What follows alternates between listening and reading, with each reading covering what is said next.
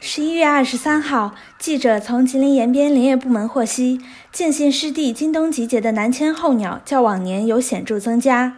目前，湿地大雁的数量已经超过二十万只，成群结队的大雁一起飞舞，构成一道壮美的鸟浪，十分震撼。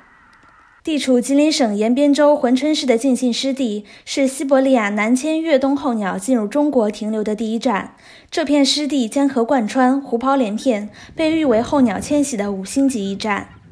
经过近两个月的不断聚集，敬信湿地候鸟的数量已接近高峰。南迁越冬的候鸟大军主要由大雁组成，农田、草丛、湖泊、村庄中随处可见它们的身影。对于大雁来说，静心湿地不仅是摆满食物的大食堂，同时也是一处训练场。大雁南迁路远山高，充满各种艰险。在休整期间，它们往往要训练如何协调一致，如何借助气流飞行。清晨，鸟鸣穿透薄雾，远远望去，它们在地面上聚成一条线。一旦有一只起飞，周围的也会跟着飞起来，继而赶着更前面的一起飞，场面如同奔涌向前的黑色潮水。今年我们秋季的鸟类迁徙工作到目前为止，已经监测到大雁在二三十万只左右。十一月下旬，静信湿地的水面逐渐封冻，大雁会成群结队地落在上面歇脚。冰面上虽然没有食物，但视野开阔，对大雁来讲更容易躲避猛禽的捕食。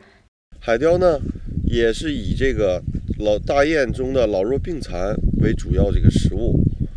说明这个这套这套生物食物链啊，非常达到非常完整，说明静信湿地的生态环境呢，也达到了一个非常好的一个趋势。静信湿地的繁荣景象是延边林业部门、地方政府与民间三方合力推动形成的。